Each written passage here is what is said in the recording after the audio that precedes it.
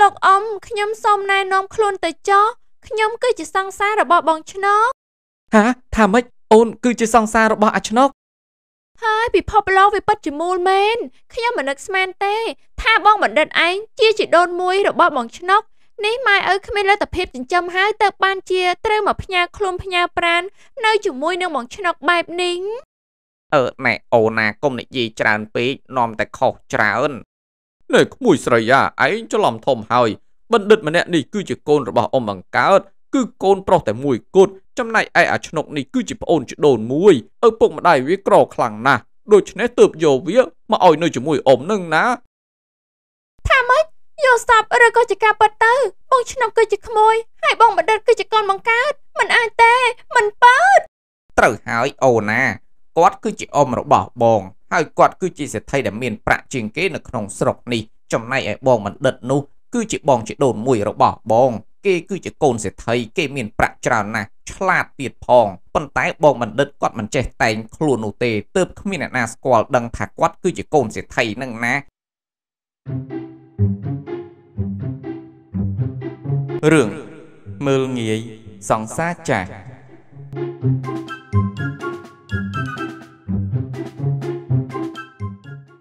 នេះឆ្នុកហើយនឹងបណ្ឌិត គឺជាបងប្អូនជីដូនមួយនឹងគ្នា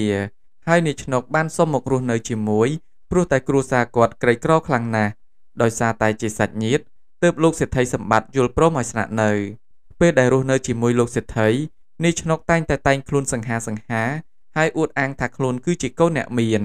ក្រោយមកក៏ដណ្ដើមយកសង្សារបណ្ឌិត ដែលជាបងជាដូនមួយរបស់ខ្លួនទៀត thank you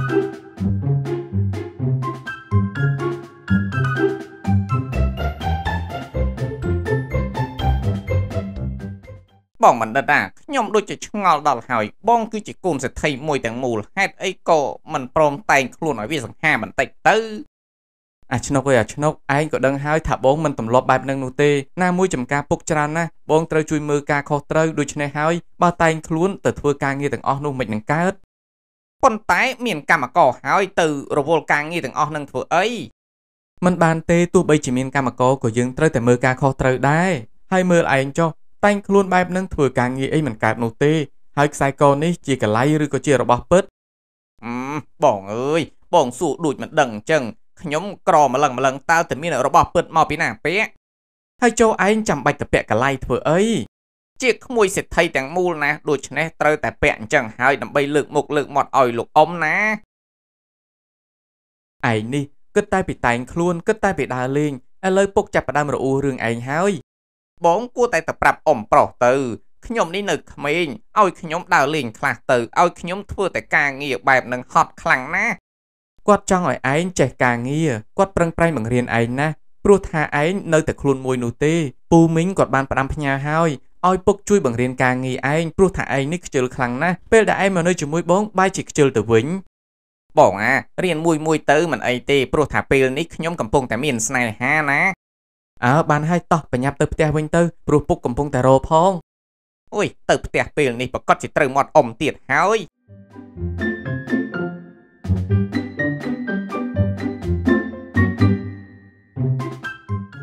អុយអាឆ្នុកនេះមួយថ្ងៃមួយថ្ងៃគត់តែពីដើរលេងមិនចេះនៅផ្ទះនោះទេ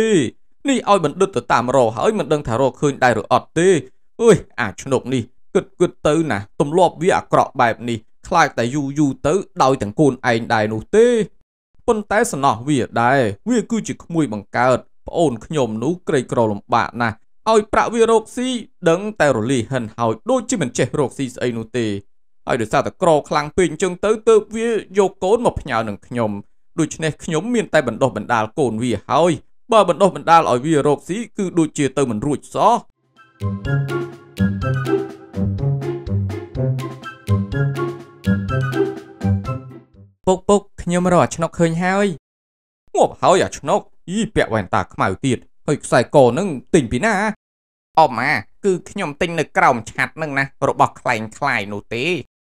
ឯនេះកុំសូវតែងខ្លួនខ្លាំងពេករៀនធ្វើការងារវាមកចាត់បន្តិចទៅណា បាទអមប្រុសខ្ញុំដឹងហើយពុកអាអាឆ្នុកនេះណាវាបានតែនិយាយនោះទេប៉ុន្តែវាលួចខ្ជិលរហូតនឹងតើគួរធ្វើយ៉ាងណាទៅ យីបងប្រុសអានេះបងអត់ជួយខ្ញុំទេអីខ្ញុំគឺជាប្អូនបងណាមិនអីទេកូនប្រុសបងរៀនវាតាមសម្រួលទៅ ណាមួយកាលពីវានៅជាមួយម៉ែវាណាគឺទម្លាប់បាត់ទៅហើយដូច្នេះយើងត្រូវតែកែវាបន្តិចម្ដងបន្តិចម្ដងបើឲ្យវានៅធ្វើការពេញមួយថ្ងៃវាប្រកាសជាមិនទម្លាប់ទេកាលពីមុនវាទម្លាប់តែដើរលេងតើដូច្នេះហើយទើបវានៅតែធ្វើបែបហ្នឹងឯងឮទេអាឆ្នុកដូច្នេះត្រូវតែស្ដាប់តាមពុក កាត់បន្ថយការដើរលេងខ្លះទៅបើកាលពីមុនឯងដើរលេងមួយថ្ងៃឥឡូវឯងដើរលេងត្រឹមតែកន្លះថ្ងៃបានហើយបាទបាទខ្ញុំដឹងហើយបងប្រុសណែឆ្នុកអានៅពេលដែលឯងធ្វើការងារនៅឯកសិដ្ឋានចប់ណារឿងដែលឯងត្រូវធ្វើបន្តគឺមើលសិភៅអត់មានលួចចេញដើរលេងទៀតនោះទេជាពិសេសគឺអាពេលយប់នឹងតែម្ដងនឹងហើយឬនៅថាម៉េចលោកអ៊ំសូម្បីតែពេលយប់ក៏មិនឲ្យខ្ញុំដើរលេងទៀតមែនទេអើឯងមើលកូនប្រុសអ៊ំមើលគេមានដែរដើរលេងពេលយប់ដែរទេគេចេះតែងខ្លួនដូចឯងដែរទេ គេមួយថ្ងៃមួយថ្ងៃគិតតែពីប្រឹងប្រែងធ្វើការនោះទេឯងគួរតែរៀនតាមគេទៅណាថ្ងៃក្រោយអ៊ំមានមុខចំនួនជាច្រើនត្រូវឲ្យឯងជួយកាន់ការហើយអីយ៉ាគិតទៅនៅជាមួយសេដ្ឋីពិតជាមិនស្រួលមែនខ្ញុំចង់ទៅម៉ែខ្ញុំវិញអាឆ្នុកអាឯងត្រឡប់ទៅរកម៉ែឯងវិញគ្មានអ្នកណាជួយអ្នកណាបាននោះទេឯងនៅទីនេះហើយប្រឹងប្រែងរៀនសូត្រថ្ងៃក្រោយឯងអាចជួយអ្នកមីងបានណាបាទបាទខ្ញុំដឹងហើយដឹងហើយអ្នកទាំងអស់គ្នាសុទ្ធតែនិយាយត្រូវ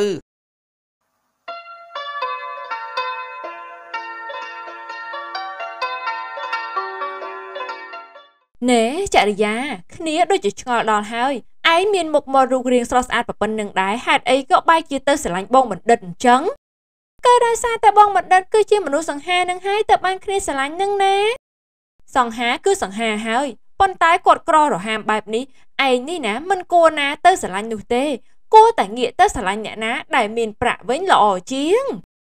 ចន្ទថនហើយចន្ទថនឯងនិយាយបែបនេះចង់ឲ្យគ្នាទៅស្រឡាញ់អ្នកណាទៅ ណែចរិយាបើគ្នាស្រស់ស្អាតដូចជាឯងណាគ្នាប្រកាសជាទៅតាមស្រឡាញ់បងឆ្នុកហើយព្រោះថាបងឆ្នុកគឺជាបរោះសង្ហាហើយថែមទាំងមានប្រាក់ទៀតផងគាត់ច្បាស់ជាកូនអ្នកមានហើយយើងជាស្រីទៅញ៉ាយគេយ៉ាងម៉េចទៅជាស្រីស្អាតញ៉ាយគេមុនគ្មានអ្នកណាគេទៅថាអីទេដូច្នេះហើយឯងគួរតែសុំបែកពីបងបណ្ឌិតហើយទៅសុំស្រឡាញ់បងឆ្នុកវិញទៅឯងនិយាយអញ្ចឹងក៏ត្រូវមួយយ៉ាងដែរគ្នាដូចជាស្រឡាញ់បងបណ្ឌិតយូរពេកហើយ មិនគួរណាចំណាយពេលវេលាស្រឡាញ់មនុស្សក្រីក្របែបនេះយូរពេកនោះទេគួរតែរកអនាគតខ្លួនឯងវិញល្អជាងព្រោះថាមើលទៅបងជ្រកលយឆៃហឺហាខ្លាំងណាស់គិតបែបហ្នឹងគឺត្រូវហើយណាចរិយាដូច្នេះឯងគួរតែប្រញាប់ឲ្យហើយទៅតាន់ពេលនេះបងឆ្នុកមិនតាន់មានអ្នកណាអឺអរគុណហើយចន្ទថនដែលឯងនេះបានផ្ដល់ជាគំនិតយោបល់ល្អបែបនេះ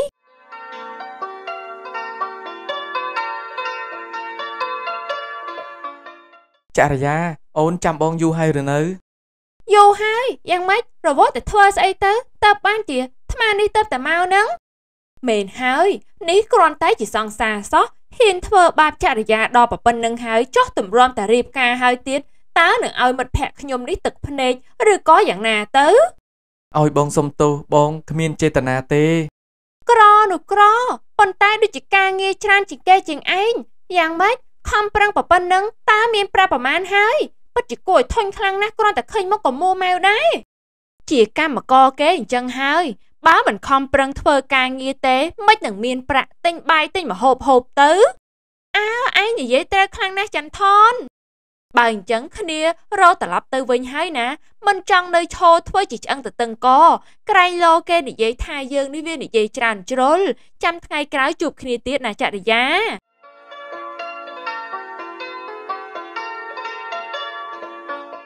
ចរិយាអូនហេតុអីក៏ថ្ងៃនេះអូនមានអារម្មណ៍មួម៉ៅចំពោះបងម្លេះរាល់ដងដូចជាមិនអញ្ចឹងទេគឺខ្ញុំធុញនឹងណាខ្ញុំធុញធុញគ្រាន់តែឃើញមុខមកឯងភ្លាមធ្វើឲ្យខ្ញុំមួម៉ៅបងគិតទៅពួកយើងណាត់គ្នានេះបងក៏មិនបានយឺតមកឯណាហេតុអីក៏អូនខឹងបងដល់ថ្នាក់ហ្នឹងអូនេះចង់ថាខ្ញុំខុសមែនទេខ្ញុំរករឿងច្រើនគួរឲ្យធុញណាស់មែនទេគួរឲ្យស្អប់ខ្លាំងហ៎ចរិតបែបហ្នឹងមិនចូលចិត្តមែនទេហា មិនអីទេមិនអីទេទោះបីជាអូនបែបណាក៏បងអាចទទួលយកបានដែរប៉ុន្តែបើសិនជាអូនញញឹមជាងនេះគឺថាកាន់តែស្រស់ស្អាតញញឹមមិនចេញទេ ថ្ងៃនេះខ្ញុំមានអារម្មណ៍មិនល្អបានបានបានបានអូនសម្លាញ់បើអញ្ចឹងបងឈប់និយាយច្រើនហើយអូប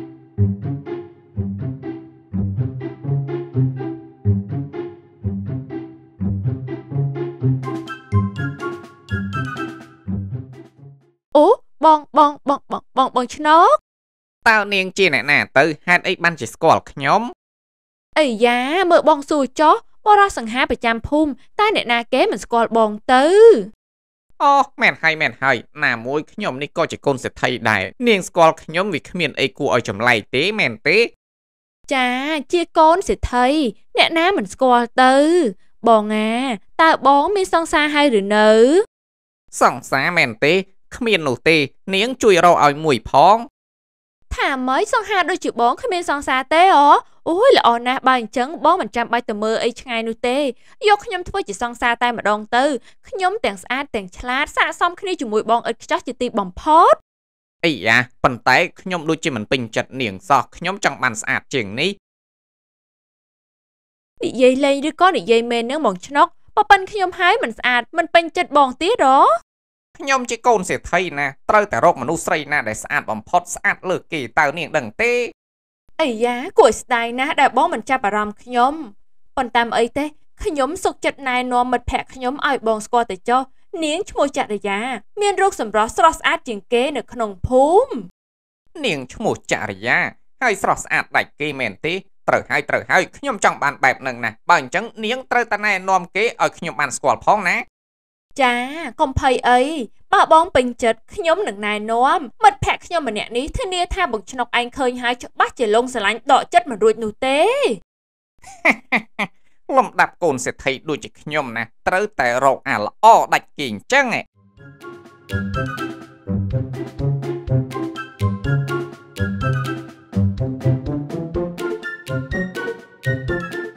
អូយឆ្ងាញ់ឆ្ងាញ់ដល់ហើយ ប៉ុន្តែខ្ញុំឆ្អែតបាត់ទៅហើយឆ្អែតយ៉ាងណាក៏នៅតែចង់ញ៉ាំទៀត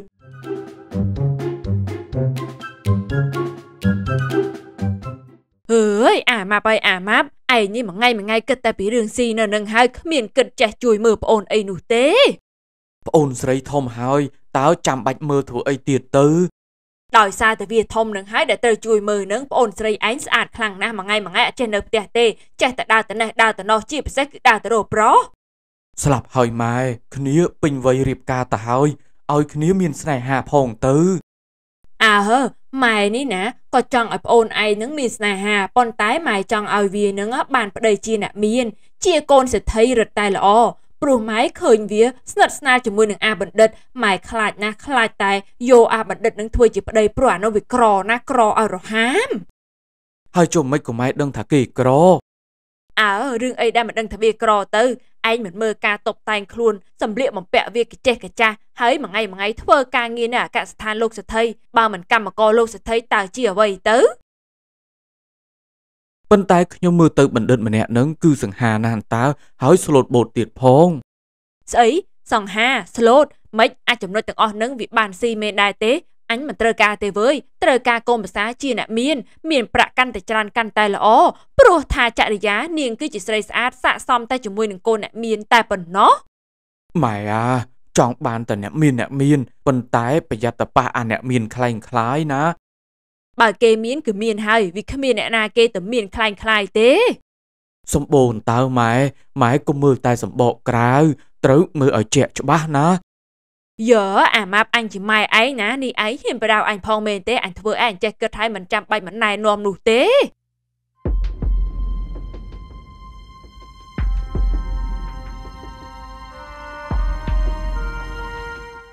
ទៅបានហើយបងបណ្ឌិតបងឯងទៅណាក៏ទៅទៅគ្មានអីគួរឲ្យនិយាយបន្តទៀតទេខ្ញុំរវល់ណាស់ខ្ញុំបញ្ញាប់ខ្ញុំទៅផ្ទះមុនហើយអេទៅតែជួបគ្នាអំបញ្ញមិញតើហេតុអីក៏បញ្ញាប់ខ្លាំងម្ល៉េះអូនមើលទៅដូចជាធុញនឹងបងហើយនេះ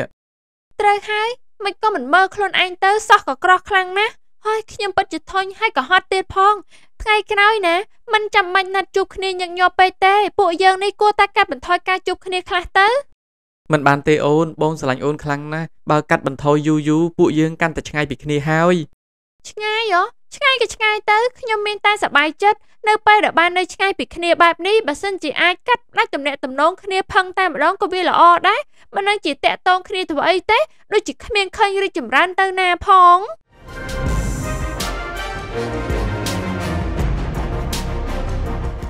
អូចរិយាណែណែណែគ្នានាំឯងទៅកន្លែងមួយយីចន្ទថនឯងចង់នាំគ្នាទៅកន្លែងណា គឺគ្នាចង់ណែនាំមនុស្សម្នាក់ឲ្យឯងបានស្គាល់ ចន្ទថនតើនាងចង់ណែនាំអ្នកណាឲ្យចរិយាស្គាល់វាជារឿងរបស់ពួកខ្ញុំស្រីស្រីនោះទេបងបណ្ឌិតឯងមិនចាំបាច់ចង់ដឹងឡើយតោះចរិយាទៅជាមួយគ្នាទៅឯងទៅដល់ឯងច្បាស់ជាដឹងហើយសប្បាយចិត្តជាមិនខានអើល្អណាស់ចន្ទថនបើអញ្ចឹងគ្នានឹងទៅជាមួយឯងទៅចុះព្រោះគ្នាក៏មិនចង់នៅទីនេះដែរចរិយាចរិយាឈប់សិនឈប់សិនហើយមើលចុះគេទៅបាត់ទៅហើយ ប្រហែលជាគេអស់ចិត្តពីខ្ញុំក៏ថាបានដែរ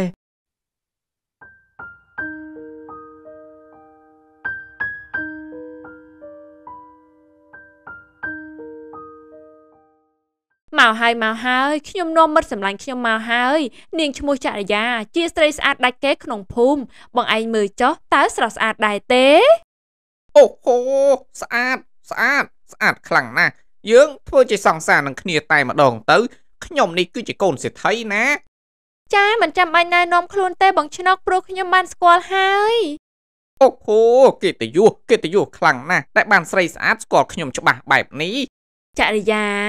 ពេលនេះគ្នាបានណែនាំបរោះអ្នកមានឲ្យឯងស្គាល់ហើយពេលដែលឯងជោគជ័យកុំភ្លេចមិត្តសម្លាញ់មួយនេះឲ្យសោះណាចន្ទថនហើយចន្ទថនឲ្យគ្នាភ្លេចឯងមិននឹងកើតទៅព្រោះឯងជាមិត្តភក្តិចិត្តដិតទាំងគ្នានោះអី ហើយចុះពេលនេះពួកយើងខ្លាយទៅជាសង្សារនឹងគ្នាបានហើយឬនៅព្រោះថាខ្ញុំពិតជាចង់ខ្លាយទៅជាសង្សាររបស់នាងណាចាបានចាប់ពីពេលនេះចាប់ពីថ្ងៃនេះម៉ោងនេះទៅពួកយើងគឺជាសង្សារនឹងគ្នាហើយបងឆ្នុកល្អណាស់ល្អណាស់ទីបំផុតអាឆ្នុកនេះមានសង្សារហើយបើអ្នកទាំងពីរស្រឡាញ់គ្នាបែបនេះហើយអញ្ជើញបន្តនិយាយគ្នាតាមសម្រួលទៀតចុះខ្ញុំមិនចង់ធ្វើជាឆ្អឹងទៅតឹងកខ្ញុំសូមលាត្រឡប់ទៅវិញហើយ អើទៅចុះណាចន្ទថន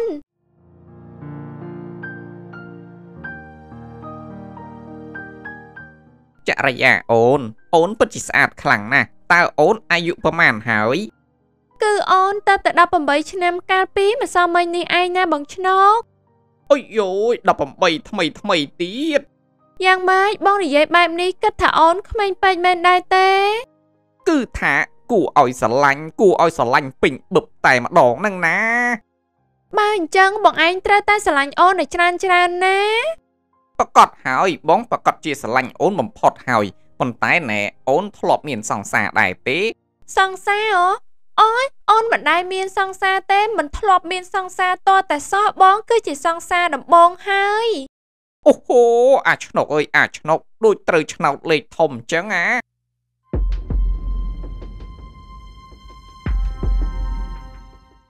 យើមីកូនចង្រៃអញថាញ៉ែប្រុសញ៉ែប្រុសមែនហេតុអីក៏ឯងមិនចេះនៅផ្ទះសោះអញ្ចឹងម៉ែហេតុអីក៏ម៉ែនិយាយបែបនេះនេះគឺជាបងឆ្នុកកូនសិទ្ធិណាម៉ែជាសង្សាររបស់ខ្ញុំហាថាថាថាមិនចរិយា ជាជាជាកូនសេដ្ឋីហ៎បាទអ្នកម៉ែខ្ញុំគឺជាកូនលោកសេដ្ឋីណាអូជាកូនសេដ្ឋី អូក្មួយហើយក្មួយពិតជាសង្ហាមិនប្រាប់ក៏ដឹងថាជាកូនសេដ្ឋីជាកូនអ្នកមានដែរមើលតែខ្សែកចុះធំឡាប៉ុណ្ណាណីម៉ែដឹងដែរទេបងឆ្នុកគាត់ស្រឡាញ់ខ្ញុំខ្លាំងណាស់ស្រឡាញ់ខ្ញុំស្ទើរលេបទៅហើយគាត់ទៅតែសុំខ្ញុំធ្វើជាសង្សារបាញ់មិញនឹងឯង អូយពិតជាសមគ្នាសមគ្នាខ្លាំងណាស់ប្រុសសង្ហានិងស្រីស្អាតណែចរិយាកូនឯងនេះកុំធ្វើឲ្យក្មួយឆ្នុកខឹងឲ្យសោះណា ត្រូវតែយកចិត្តយកថ្លើមនេះសំបីតែម៉ែក៏មិនបដិសេធស្នេហានេះដែរមែនទេចាមិនបដិសេធទេក្មួយប្រុសឯងល្អម្លឹងម្លឹងតើអ្នកណាភ្លើទៅបដិសេធនោះអឺបើអញ្ចឹងពួកឯងនិយាយគ្នាបន្តទៀតទៅណា មីងមិននៅរំខានទេ មីងមានការនៅផ្ទះ សុំត្រឡប់ទៅវិញមុនហើយបាទបាទអញ្ជើញទៅចុះម៉ែកុំរំខានពួកខ្ញុំញ៉ែគ្នាអី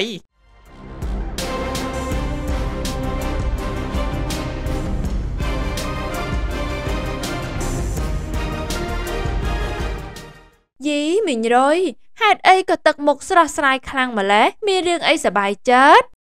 អើសប្បាយចិត្តញញឹមបិទមាត់មិនចិត្តដោយសារតែកូនស្រីវាខ្ពង់ខ្ពស់ ថាម៉េចកូនស្រីខ្ពង់ខ្ពស់ឯងនិយាយបែបនេះបានន័យថាយ៉ាងម៉េចទៅ គឺកូនស្រីខ្ញុំចរិយានឹងណា នាងចិត្តខ្លាយទៅជាកូនប្រសាររបស់សិទ្ធិហើយ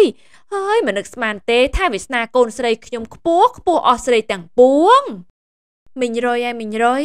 ការពិតទៅច ចរិយាស្រឡាញ់គ្នាជាមួយបងឆ្នុកគឺដោយសារតែខ្ញុំតើខ្ញុំជាអ្នកណែនាំឲ្យពួកគេស្គាល់គ្នាកុំអីពួកគេក៏មិនបានស្គាល់គ្នាមិនបានស្រឡាញ់គ្នាដែរមិញគួរតែអរគុណខ្ញុំហាថាម៉េចនេះឯងជាអ្នកណែនាំឲ្យកូនស្រីយើងជួបគ្នាអបហើយការពិតបានកូនស្រីយើងជាអ្នកណែនាំសោះខំប្រឹងធ្វើឯងអួតក្អេងក្អាងអើយពិតជាគួរច្រេញខ្លាំងណាស់ មែនហើយមីងរយខ្ញុំថាយល់ល្អមីងកុំទម្លាប់អាក្រក់បែបនឹងអីធ្វើធម្មតាធម្មតាទៅអូយចន្ទថនស្មានតែយើងមិនដឹងពីចរិតឯងមែនទេឯងមិននឹងអាចចិត្តល្អណែនាំឲ្យកូនស្រីយើងស្រួលស្រួលបែបនេះសង្ស័យតែខំប្រឹងណែនាំខ្លួនឲ្យក្មួយឆ្នុកប៉ុន្តែក្មួយឆ្នុកគេមិនចាប់អារម្មណ៍ដោយសារតែសម្រស់ឯងវាមិនបានក៏សុកចិត្តផ្ទេតែឲ្យកូនស្រីយើងទាំងបង្ខំ យោមីងរយដូចជាហួសហេតុពេកហើយខ្ញុំខំណែនាំឲ្យកូនមីងឯងខ្ពស់មកខ្ពស់មកមិនអរគុណខ្ញុំទេបែរជាដៀលខ្ញុំវិញមីងឯងចង់យ៉ាងម៉េចហាចង់ឆ្លោះគ្នាជាមួយខ្ញុំមែនដែរទេយ៉ាងម៉េចយើងនិយាយត្រូវចំណុចហើយមែនដែរទេទើបបានជាខឹងសម្បាបែបនេះនោះណែមីក្រូយ៉ាឯងល្មមល្មមបានហើយមកដៀលកូនស្រីយើងកប់កប់មាត់បែបនេះតើអ្នកណាគេទៅទ្រាំបានទៅសុកសុកបើសិនជាត្រូវគេដៀលឯងចឹងតើឯងអាចឈរសំងំឲ្យគេដៀលបានដែរទេ គិតមើលប៉ុណ្ណឹងផងទៅរាល់ថ្ងៃនេះគុំធ្វើខ្លួនឲ្យគេកាន់តែស្អប់ជាងនឹងបានដែរទេហាចង់អ្នកណាស្អប់អីស្អប់ទៅខ្ញុំមិនខ្វល់ទេព្រោះតិចទៀតខ្ញុំខ្លាយទៅជាដន្លងជាមួយនឹងសេដ្ឋីហើយមានអ្នកណាគេហ៊ានខឹងខ្ញុំទៀតទៅមានតែគេខ្លាចក្រែងចិត្តខ្ញុំទៅត្រូវហើយអ្នកទាំងពីរពីរអ្នកម្ដាយកូននឹងណាខ្ញុំគ្រាន់តែប្រាប់នោះទេរៀនណាឲ្យលំទោនរៀនយកចិត្តយកថ្លើមខ្ញុំខ្លះទៅប្រយ័ត្នតែពេលខ្ញុំខ្លាយទៅជាដន្លងសេដ្ឋីខ្ញុំនេះមិនរាប់រក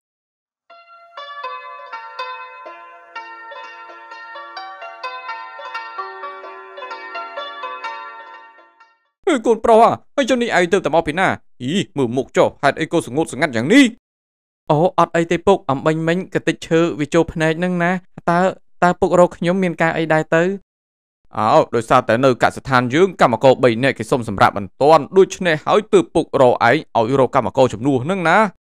អូមិនអីទេពុកមិនបាច់ដាក់អ្នកណាជំនួសនោះទេចាំខ្ញុំទៅមើលការនៅទីនោះទៅចុះកូនប្រុសឯងធ្វើបែបនេះហត់ហើយ មិនអីទេពុកការងារអស់នឹងខ្ញុំទម្លាប់បាត់ទៅហើយចាំខ្ញុំទៅធ្វើការចុះអើបើសិនជាបានឯងទៅមើលការខុសត្រូវនៅទីនោះពុកនេះក៏វារៀងធ្ងន់ចិត្តដែរហើយចុះអាឆ្នុកវាទៅណាបាត់ហើយពុកគិតថាឲ្យវាទៅជួយឯងដែរខ្ញុំក៏មិនដឹងថាវាដើរទៅណាដែរពុកប៉ុន្តែបើសិនជារងចាំវាប្រកាសជាខូចការហើយដូច្នេះមានតែខ្ញុំទៅមើលការនៅទីនោះមុនអឺអឺបើអញ្ចឹងឯងទៅចុះណាចាំពេលពុករកអាឆ្នុកឃើញពុកឲ្យវាទៅជួយឯង បាទពុកខ្ញុំដឹងហើយ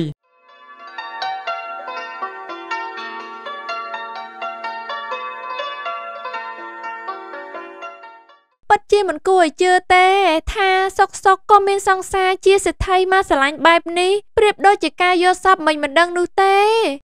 អូននិយាយចេញមកពិតជាពីរោះទុនភ្លុនធ្វើឲ្យបេះដូងបងនេះញាប់ញ័រខ្លាំងណាស់តើអូនដឹងទេ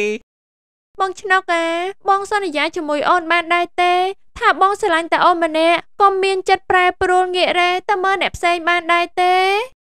អូបានបានអូនសម្លាញ់គឺថាបងស្បត់ជូនអូន បងស្រឡាញ់តែអូនម្នាក់គត់គ្មានងាករេចិត្តឡើយទោះបីជាបងមានប្រាក់ច្រើនយ៉ាងណាក៏បងមិនមើលឃើញស្រីផ្សេងក្រៅពីអូនដែរណា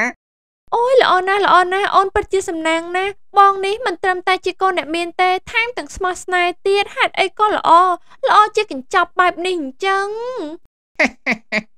មិនយូរទេបងនឹងចូលស្ដីអូនទៅតាមប្រពៃនេះហើយ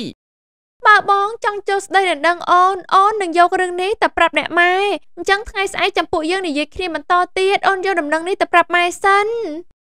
បានបានអូនប្រាប់ម៉ែអូនចុះណា បងក៏ទៅប្រាប់ពុកបងដែរ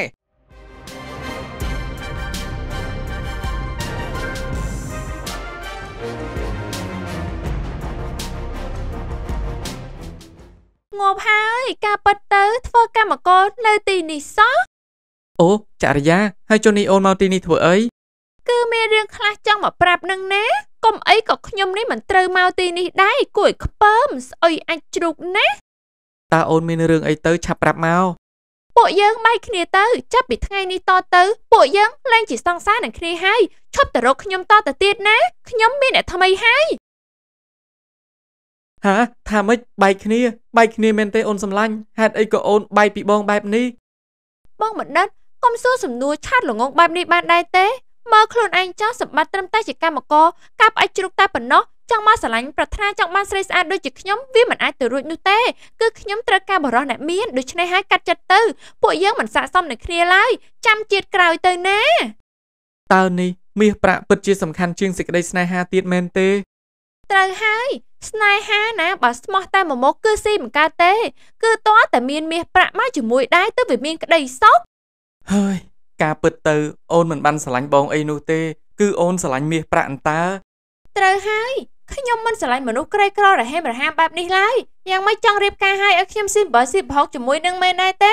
ហោះខ្ញុំមិនតែភ្លើអញ្ចឹងនោះទេណាសម្រាប់ខ្ញុំស្រស់ស្អាតបែបនេះខ្ញុំត្រូវតែប្រើប្រាស់ឲ្យបានល្អគឺខ្ញុំត្រូវតែរៀបការជាមួយនឹងអ្នកមាន មានអ្នកបម្រើឆ្វេងស្ដាំរស់នៅលើគំនរមាសប្រាក់បងពិតជាស្ដាយខ្លាំងណាស់ស្ដាយចិត្តស្មោះដែលមានចំពោះអូន បងមើលមនុស្សខុសហើយកាន់ចិត្តទៅ ពួកយើងមិនសមនឹងគ្នានោះទេខ្ញុំត្រូវការអ្នកមាន ហើយខ្ញុំស័កសមតែជាមួយកូនអ្នកមានតែប៉ុណ្ណោះចំណែកឯបងបណ្ឌិតឯងស័កសមតែជាមួយនឹងស្រីក្រក្រដូចគ្នាតែប៉ុណ្ណោះណាដូច្នេះហើយកុំសម្លឹងមើលខ្ពស់ពេក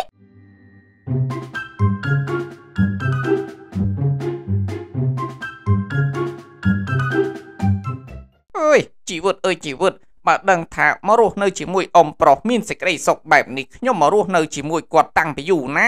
គិតទៅមករស់នៅជាមួយគាត់បានរយៈពេលប្រហែលជាមួយខែមិនទាន់ស្រួលបួលផងឥឡូវមានសង្សារដ៏ស្រស់ស្អាតមួយបាទគិតទៅណាបងបណ្ឌិតគាត់ជាកូនសេដ្ឋីហើយមានរូបរាងស្រស់សង្ហាទៀតហើយប្រាជ្ញាគាត់ក៏ឆ្លៀសវៃ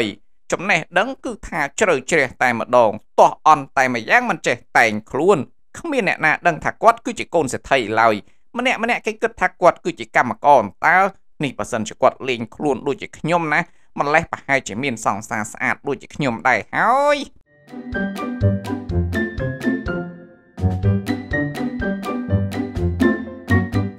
អីអឆ្នុកអាអញរកឯងលើប្រហែលម៉ោងទៅហើយហើយឯងមកដេកនៅទីនេះទីអី អូអំប្រុសគឺដោយសារតែខ្ញុំកំពុងតែមានសេចក្តីស្នេហានឹងណាទើបខ្ញុំដេកសញ្ជឹកសញ្ជឹងគិតម្នាក់ឯងស្អីគេមានស្នេហាមែនទេអុយឯងកុំតន់អាយកស្នេហាជាធំអីប្រឹងប្រែងរៀនធ្វើការអីឲ្យតែចេះសិនទៅណា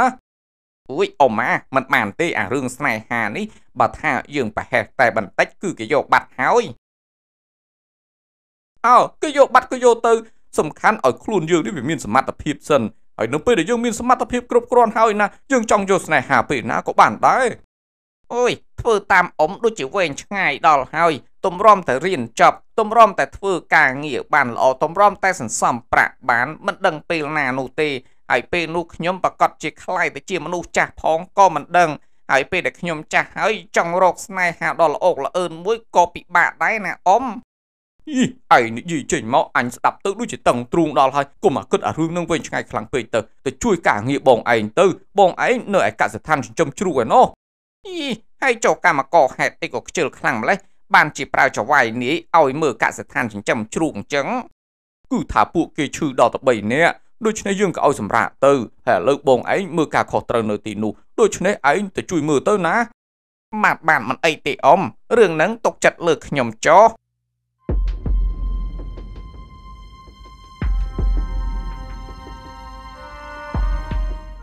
យ៉ាងម៉េចហើយស្នេហារបស់ឯងនោះចរិយា មើលទៅជ្រាលជ្រៅដល់កម្រិតណាដែរឯងដឹងដែរទេបងឆ្នុកស្រឡាញ់គ្នាខ្លាំងណាស់ចាក់ទឹកបន្លិចនោះទេគឺគាត់ស្ទើរតែចង់នៅជាមួយគ្នា24ម៉ោងមិនចង់ឲ្យគ្នាឃ្លាតមកផ្ទះសំបីតែបន្តិចអីយ៉ានេះគាត់ស្រឡាញ់ឯងដល់ម្លឹងមែនទេបើអញ្ចឹងច្បាស់ជាជោគជ័យហើយមិនយូរមិនឆាប់ទេពួកឯងច្បាស់ជាមានដំណឹងល្អរៀបការជាមួយគ្នា មិនខុសទេចន្ទថនគាត់ថានឹងឲ្យពុកគាត់ចូលស្ដីនឹងដឹងគ្នាឆាប់ឆាប់នេះឯងអឺល្អណាស់បើអញ្ចឹងឯងជាបន្តត្រូវតែឲ្យគេនេះណានាំឯងទៅស្គាល់សាច់ញាតិបងប្អូនគេឲ្យហើយទៅទៅលេងផ្ទះគេទៅដើម្បីបណ្ដុះមនោសញ្ចេតនាឲ្យកាន់តែជ្រាលជ្រៅចាក់រឹសដល់ណាដល់ណីតែគ្នាគិតថាជាស្រីទៅលេងផ្ទះគេខាងប្រុសអញ្ចឹងដូចជាមិនល្អទេខ្លាចសាច់ញាតិបងប្អូនគេតេះឌីលណា ណែចរិយាឯងកុំល្ងងពេកចង់ឲ្យស្រីស្រីទាំងអស់នោះឆ្លៀតឱកាសដណ្ដើមតំណែងនេះតាមមានដែរទេអើយមិនអាចទេមិនអាចឲ្យស្រីផ្សេងដណ្ដើមមកឈប់ពីគ្នាបានឡើយអើបើឯងមិនចង់ឲ្យស្រីផ្សេងដណ្ដើមមកឆ្នុកទេដូច្នេះឯងគួរតែឆ្លៀតឱកាសហ្នឹងទៅស្គាល់សាច់ញាតិបងប្អូនគេឲ្យហើយទៅដើម្បីឲ្យគ្រប់គ្នាបានដឹងថាឯងគឺជាសង្សាររបស់បងឆ្នុក គំនិតល្អគំនិតល្អគ្នាត្រូវតែប្រកាសឲ្យពិភពលោកដឹងថាគ្នាគឺជាសង្សារតែម្នាក់គត់របស់បងឆ្នុកហើយក៏ជាអនាគតភរិយារបស់គាត់ដែរអើឲ្យវាអញ្ចឹងឡើងណាសំឡាញ់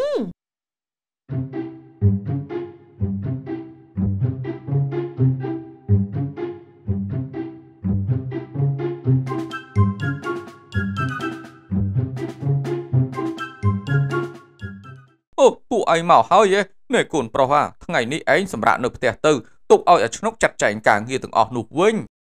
យីអំប្រុសនេះអាំងតកូនខ្លួនឯងឲ្យសនុកមិននឹងកើតមិនអីទេពុកចាំខ្ញុំទៅជួយអាឆ្នុកទៅចុះអើយកូនឯងធ្វើការម្សិលមិញហើយអាឆ្នុកនេះវាអត់បានធ្វើទេឲ្យវារៀនធ្វើការងារខ្លះទៅបើឲ្យវាទំនេរចោលអត់ប្រយោជន៍ណាគឺវាអត់ចេះស្អីទេតើអាឆ្នុកឯងឆាប់ទៅធ្វើការទៅណា បងប្រុសអាជួយនិយាយគាត់បន្តិចទៅតើបានទេអើយអាឆ្នុកអាឯងកុំទម្លាប់ខ្ជិលពេកតើបានទេប៉ុន្តែខ្ញុំមានសង្សារហើយ នាងត្រូវការពេលវេលាជាមួយខ្ញុំអញប្រាប់ហើយប្រាប់ទៀតថាកុំអោយយកស្នេហាជាធំឯងនេះត្រូវការរៀនសូត្រច្រើនទៀតណាមែនហើយអាឆ្នុកឬមួយក៏ឯងចង់ឲ្យម៉ែឯងនៅតែលំបាកអួយចិញ្ចឹមជ្រូកសោះតើមានចំណេះដឹងមកពីណា អើថ្ងៃក្រោយអញឲ្យឯងកាន់ការខាងកសិដ្ឋានចិញ្ចឹមជ្រូកមានជ្រូកជាង1000ក្បាលតើឯងគ្រប់គ្រងបានទេថាម៉េចអ៊ំហើយចុះប្រាក់ខែតើប្រមាណដែរប្រាក់ខែគឺច្រើនខ្លាំងណាស់អាចឲ្យឪពុកម្ដាយឯងរស់នៅបានសុខស្រួលទៀតផងអីយ៉ាបើអញ្ចឹងឲ្យខ្ញុំធ្វើឥឡូវនេះតែម្ដងទៅប៉ុន្តែឯងសូម្បីតែដាក់បាយជ្រូកក៏មិនចេះផងដូច្នេះត្រូវតែរៀនច្រើនទៀតមែនហើយមែនហើយដោយគុណមិនដឹងនិយាយអញ្ចឹងឯងនេះមិនទាន់ចេះចិញ្ចឹមជ្រូកផងហើយចង់រកទៅគ្រប់គ្រងយ៉ាងម៉េច អីយ៉ាត្រូវការចំណាយពេលទៀតហើយអញ្ចឹងនោះមិនអីទេចាំខ្ញុំទៅធ្វើការទៅចុះ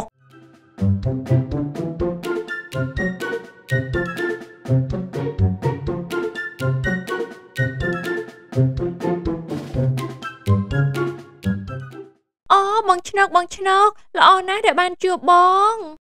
ចរិយាអូននេះអូនមករកបងទាំងព្រលឹមតែម្ដងអូនអត់ប្រាក់ចាយមែនទេ អត់ទេអូនមិនមែនមករកប្រាក់ទេ គឺអូនមានរឿងមួយចង់សុំ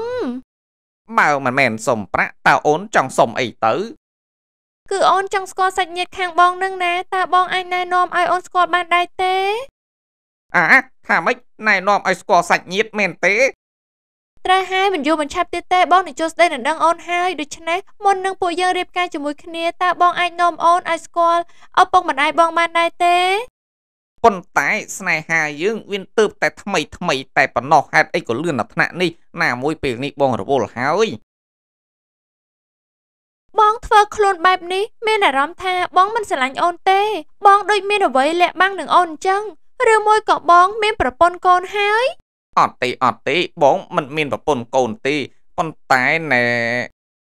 បើបងមិននាំអូនទៅលេងផ្ទះបងទេ គឺអូននេះណា មិនស្រឡាញ់គ្នាជាមួយបងបន្តទៀតទេព្រោះបងមិនមែនជាមនុស្សប្រុសដែលអូននេះຕົកចិត្តអូយរឿងច្រើនមែនស្រីស្រី បានបានចាំបងនាំអូនទៅផ្ទះបងទៅចុះហាប៉ាត់ម៉ែណែនាំអូនទៅលេងផ្ទះបងហ៎អូយល្អណាស់ល្អណាស់ធ្វើអញ្ចឹងទៅអូនជឿជាក់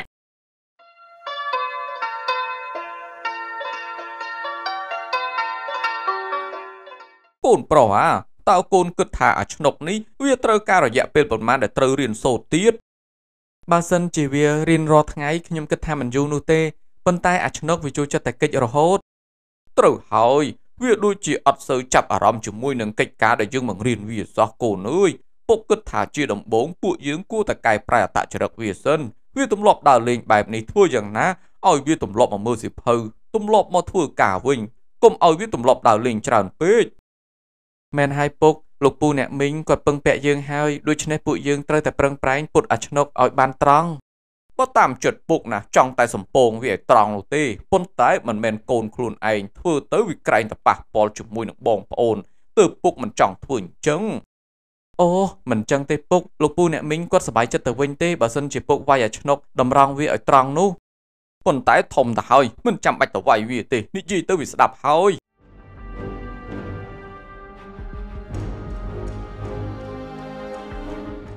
អីអាឆ្នោអាហើយជុំនេះឯងមកទីនេះធ្វើអីទៀតអើគឺណែខ្ញុំណែ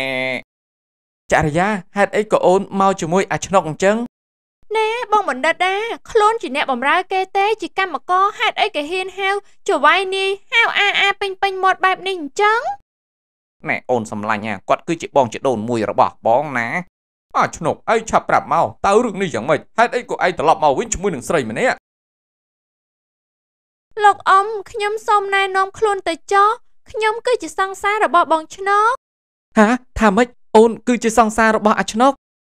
ហើយពិភពលោកវាពិតជាមូលមែនខ្ញុំមិននឹកស្មានទេ ថាបងបណ្ឌិតឯងជាជីដូនមួយរបស់បងឆ្នុកនេះម៉ែឪគ្មានលទ្ធភាពចិញ្ចឹមហើយទៅបានជាត្រូវមកផ្ញើខ្លួនផ្ញើប្រាននៅជាមួយនឹងបងឆ្នុកបែបនេះ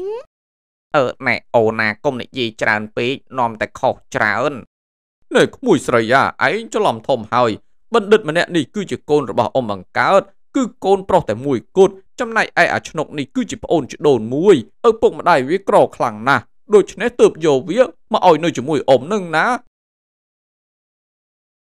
ថាម៉េចយកសពឬក៏ជាការពិតទៅ បងឆ្នុកគឺជាក្មួយហើយបងបណ្ឌិតគឺជាកូនបង្កើតមិនអាចទេមិនប៉ើត្រូវហើយអូនណាគាត់គឺជាអ៊ំរបស់បង ហើយគាត់គឺជាសេដ្ឋីដែលមានប្រាក់ជាងគេនៅក្នុងស្រុកនេះចំណែកឯបងបណ្ឌិតនោះគឺជាបងជាដូនមួយរបស់បង គេគឺជាកូនសេដ្ឋីគេមានប្រាក់ច្រើនណាស់ឆ្លាតទៀតផងប៉ុន្តែបងបណ្ឌិតគាត់មិនចេះតែងខ្លួននោះទេទើបគ្មានអ្នកណាស្គាល់ដឹងថាគាត់គឺជាកូនសេដ្ឋីនឹងណាចំណែកឯបងនេះគឺជាកូនអ្នកក្រនោះទេ អីហេតុអីក៏ខ្ញុំល្ងងបែបនេះមិនគួរណាមើងងាយសង្សារចាស់ខ្លួនឯងកាប់ពិតទៅ សង្សារចាស់ខ្លួនឯងគឺជាកូនសេដ្ឋីបែរជាសំបែកបងបណ្ឌិតទៅស្រឡាញ់អ្នកមានខ្លាញ់ខ្លាយអីហើយចូលរឿងយ៉ាងម៉េចនឹងដូចជាមិនយល់សោះពុកកាលពីមុននាងគឺជាសង្សាររបស់ខ្ញុំប៉ុន្តែក្រោយមកនាងក៏សំបែកពីខ្ញុំដោយគិតថាខ្ញុំគឺជាអ្នកក្រកំសត់តោកយ៉ាហើយនាងក៏ទៅសម្រេចចិត្តស្រឡាញ់អាឆ្នុក ព្រោះឃើញអាឆ្នុកតែងខ្លួនហ៊ឺហាគិតថាអាឆ្នុកជាកូនអ្នកមានអូការពិតអញ្ចឹងសោះនេះហើយចិត្តលោភលន់ចង់បានតែប្រាក់បងបណ្ឌិតពួកយើងត្រូវគ្នាវិញបានដែរទេអូនដឹងខុសហើយមិនបានទេរឿងពួកយើងហួសទៅហើយឲ្យវាចប់ត្រឹមនេះទៅចុះ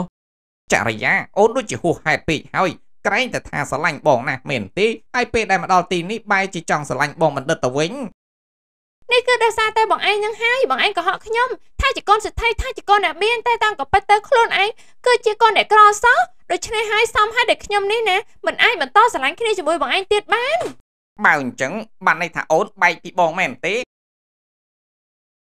ត្រូវហើយត្រូវតែបែកគ្នាក្របែបបែបហ្នឹងខ្ញុំមិននឹងអាចស្រឡាញ់គ្នាជាមួយនឹងបងឯងបានតទៅទៀតទៅក្មួយអើយក្មួយឯងខុសទៀតហើយណា នេះបើសិនជាឯងនៅតែស្រឡាញ់អាឆ្នុកឯងប្រកាសជាមានអនាគតភ្លឺស្វាងព្រោះថាថ្ងៃក្រោយទៅអ៊ំនឹងបកគលការងារធំធំមួយចំនួនទៅឲ្យអាឆ្នុកកាន់កាប់ហើយប្រាក់ខែក៏ច្រើនណាស់ដែរព្រោះថាអាឆ្នុកនេះវាជាក្មួយបង្កើតរបស់អ៊ំណាដូច្នេះអ៊ំមិនអាចមើលនឹងភ្នែកបាននោះទេត្រូវហើយត្បិតតែពេលនេះបងក្រប៉ុន្តែអ៊ំរបស់បងគាត់ជ្រុំជ្រែងបងរហូតហើយមិនយូរនោះទេបងនឹងជោគជ័យដូច្នេះអូនបរាជ័យហើយដែលមិនជ្រើសរើសយកបងនោះ ល្អហើយអាឆ្នុកដែលឯងបែកចេញពីនាងព្រោះថានាងសម្លឹងមើលតែទ្របនោះទេថាម៉េចនេះខ្ញុំខ្ញុំខុសទៀតហើយមែនទេអើយមិនគួរទេមិនគួរទេហេតុអីនាងចរិយាឯងនេះហេតុអីក៏កម្មបែបនេះអញ្ចឹង